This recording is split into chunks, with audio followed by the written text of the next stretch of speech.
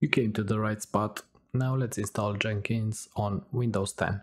First, you go to jenkins.io slash doc slash book slash installing slash windows because this is for Windows.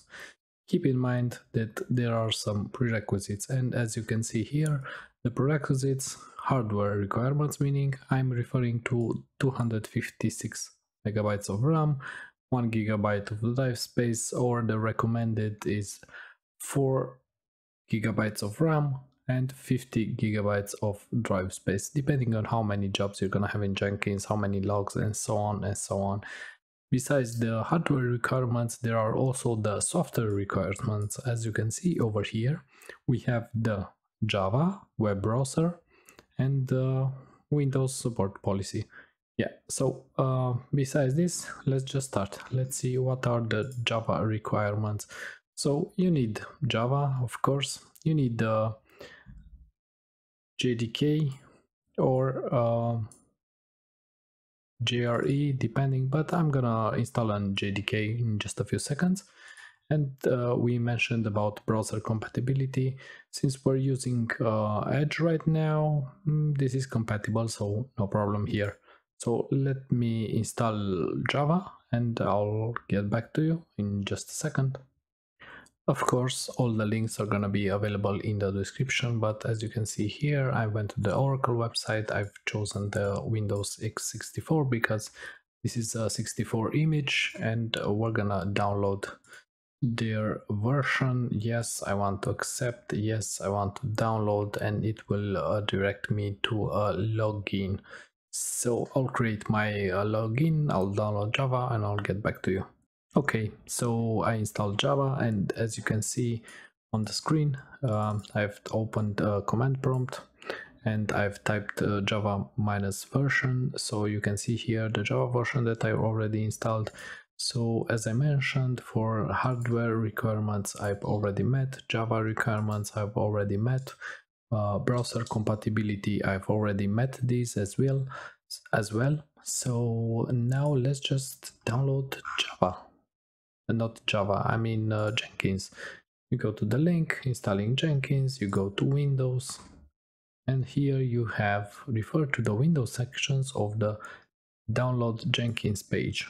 Download Jenkins page, this is um, the version and yeah you just have to uh, choose uh, which version do you want to pick you can pick the latest stable or the regular release okay and um, I'm gonna pick uh, this one for Windows because I want to go with the latest stable.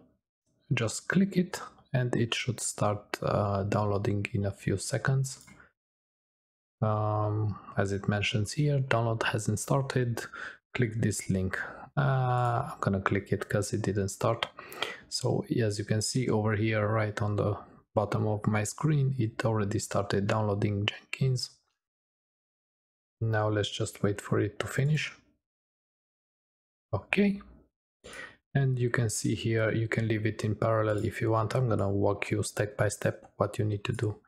This is exactly as they're suggesting. Yes choose a file location. Yes then choose an uh, credentials. These are credentials that you're gonna use for jenkins i'm gonna go with uh, admin admin. Yeah.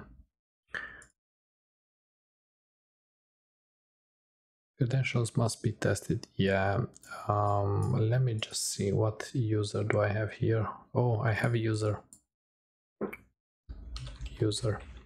You need to put here the credentials for windows. Yeah, hmm. I will run it as a local because uh, it's not working for me because this is a virtual machine on uh, Hyper-V and I haven't set any password for my user. So I'm gonna run it as a local. Now, you know what? Uh, let me just uh, credentials manager. Again, this is a good uh, practice that you always run into problems. So um, in case somebody else runs into the same problem. Let's just uh, open this administrative tools. Yeah and there you should see as the error mentions here that you don't have the privilege. So i'm gonna give myself the privilege. Just a few seconds. Where is it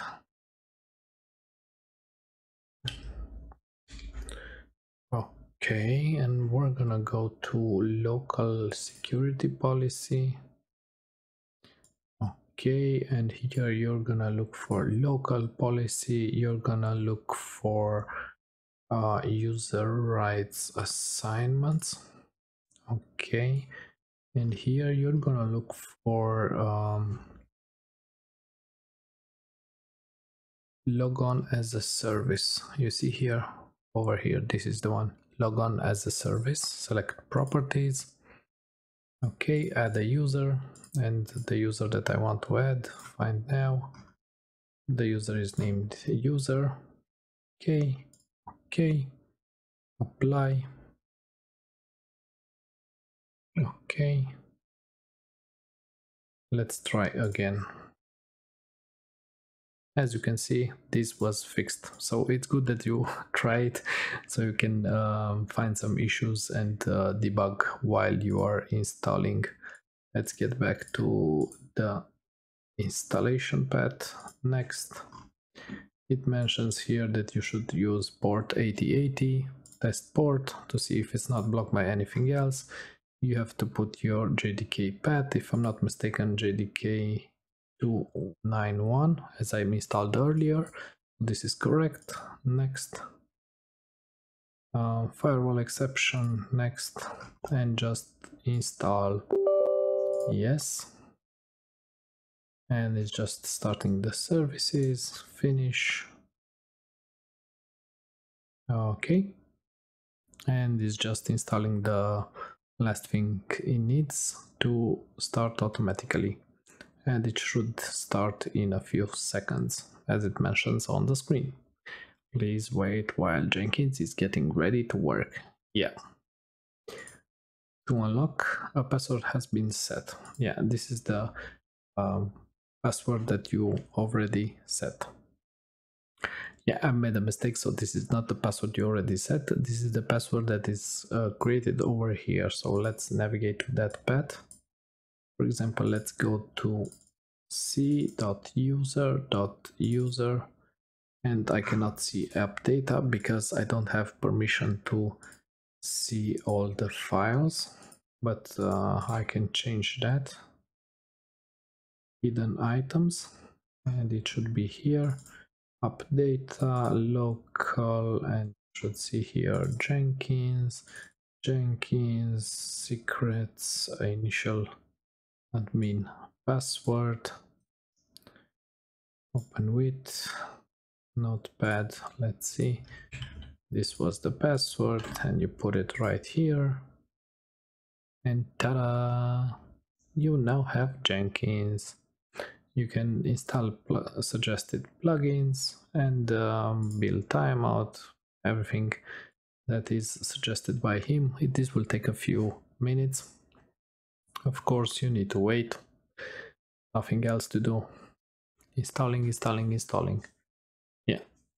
While he's doing that you can clear anything else and we're gonna just wait for the default plugins that uh, Jenkins suggested that you should install and then you should be good to go. Um, you can see the default contains git which is really good build timeout email extension, workspace, uh, pipeline, all the necessary stuff. Okay, you're gonna need Maven and so on, depending on what are you gonna use Jenkins for. In my case, I'm gonna need Maven because I wanna do some.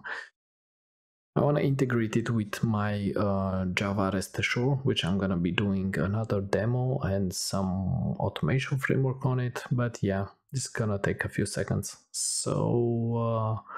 Let me just pause you right here and we'll be back when everything uh, finishes. So now we just finished uh, installing all the plugins and you got to the first uh, window. If you want to create your first admin we will not do that. We will do skip and continue as admin. Of course you can name here the instance. You can put whatever name you want we're gonna leave it with localhost start using jenkins and that's it you got jenkins you can go from here you can manage uh, jenkins you can see here i got some error because some of the plugins did not install correctly but you can fix that uh, later on. This was uh, an issue because I ran out of memory on my disk where my virtual machine was uh, running and it took the installation forever. but yeah, this was it. This was Jenkins on Windows 10. Um, don't forget to like this video, drop a comment down below what would you like to see next or what else would you like me to show you from Jenkins if you need something else. I don't know thanks for watching and uh, see you in the next one. Bye.